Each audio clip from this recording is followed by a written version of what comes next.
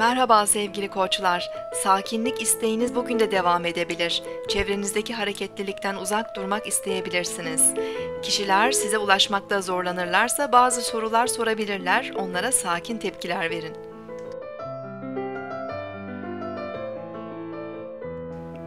Bugün 23 Mayıs 2014 Cuma, Venüs günündeyiz.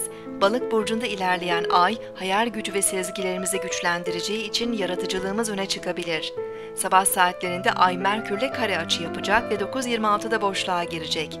Zihinsel olarak herhangi bir konuya konsantre olmakta zorlanabiliriz ve kararsızlık hissedebiliriz. İletişim konularında bazı sorunlar, gecikmeler ve yanlış anlaşılmalar söz konusu olabilir. Gündüz saatlerinde yeni girişimler ve önemli işlerle ilgilenmek yerine günlük işlerimizle uğraşabiliriz. Ay akşam 19.02'de Koç burcuna geçiyor. Dışa dönük, canlı, sabırsız enerjiler hareketlendirebilir.